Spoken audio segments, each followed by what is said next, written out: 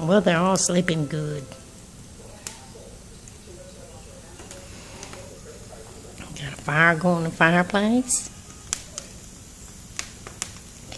Don't that look pretty?